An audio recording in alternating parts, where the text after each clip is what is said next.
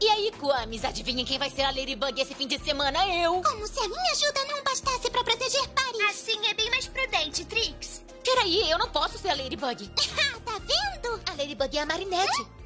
Eu preciso de um nome de super-heroína diferente, tipo Capitã Bug, ou Wonderbug, ou melhor ainda, Superbug. Isso, eu adorei esse nome, Superbug. Agora só precisa ser super cuidadosa o tempo todo, deixar tudo super secreto e levar tudo super a sério e não fazer uma super A bobagem. Marinette não é só a Ladybug, ela também é a guardiã dos miraculos. Se a guardiã confia em você, então você tá preparada pra fazer isso. Tem razão, Tiki, tenho certeza que vai dar certo. E se eu der sorte, vai ser um fim de semana tranquilo. Ah,